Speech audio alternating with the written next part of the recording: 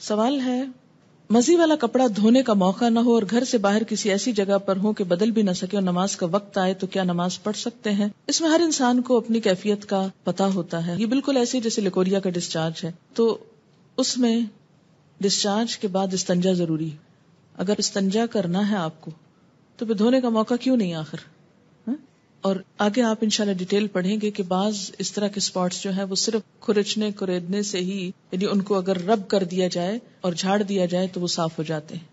क्या जनाबत की हालत में खाना तैयार किया जा सकता है? जी, बिल्कुल किया जा सकता है। ऐसा है कि अगर आप अपने बच्चों को कोई चीज़ बोल के नहीं एक्सप्लेन कर सकते कि झिझक आती है और बड़े हो गए हैं या कुछ तो लिख कर कर दीजिए। जागते हुए अगर कुछ ख्याल के बाद अगर कम डिस्चार्ज हो, बात यह है कि कम हो या ज़्यादा हो। जो डिस्चार्ज है, उसके लिए स्तंजा और वज़ू दोनों ज़रूरी है। एक लड़की की माँ न थी, चची और कुछ आंटीज रहती थी। जब उस बेचारी को पीरियड्स हुए तो उसने भाइयों को बताया।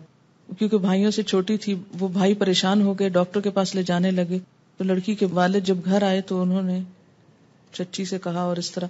तो वो, इन्हीं बाजों का ऐसी चीज़ें फिर बहुत एम्बेरसमेंट का सबब बन जाती है ना कि जब बच्चों को आप माँ नहीं बता रही, जो उनकी सबसे बढ़कर खैरखा है तो फिर वो क्या करती हैं? सहेलियों से पूछती हैं, औरों से पूछती हैं इधर उधर से कोई उन पे हंसता है, कोई मज़ाक उड़ाता और ये सारी ज़िंदगी चीज़ें, खौफ की चीज़ें बन के रह जाती तो इससे बेहतर है कि वो औरों से जाके पूछे, क्यों ना आप उनको बताएँ खुद?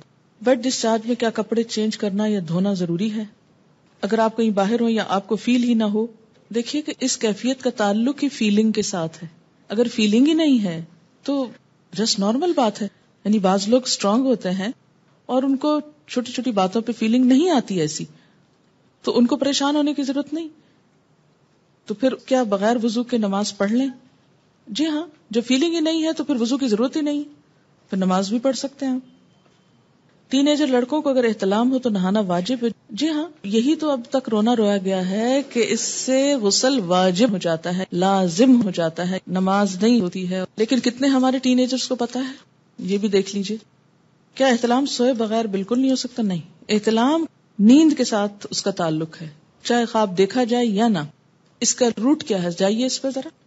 अहलाम हलुम, ख्वाब। तो उसी से बाब इफ्तियाल है, एहतलाम। ख्वाब देखना।